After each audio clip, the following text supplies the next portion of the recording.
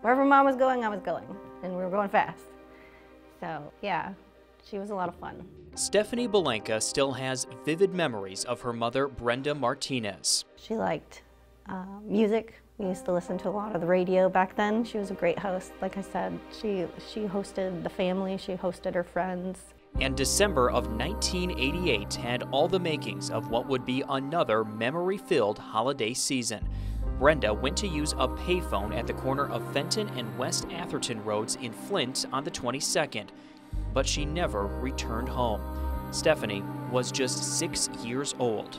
There was a moment that you just remember suddenly not feeling safe. That's your comfort, that's your person. She was all I had. And then she was gone.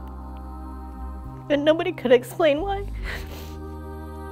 Brenda's body wouldn't be found until several days after the new year at this park outside of Flint. Her death would be ruled a homicide. I think there was a long time even after the funeral and everything. You just kind of have this magical thinking like one day she's just gonna walk in the door, you know, it's it was a bad dream or it was you know, a mistake or somebody was confused. Um, maybe she just got lost, she's gonna come back. So that was, that was definitely hard as a kid, um, trying to come to terms with something, such a big loss when you're so little. Stephanie was sent to live with relatives in northern Michigan, all the time wondering what happened to her mom and why. We've tried getting answers for years and it's just, you just want that back. You want to be safe. You want to feel home. And so that's something that you just do your best to have for your own children because there's, you know, there's a part of you that will never understand how that happened. It's the same question police have tried to answer for decades, but the case has largely remained cold, with few details made public. This is somebody that's very important, maybe not to you, but to her family and her friends. She was kind of like the glue. She held us all together.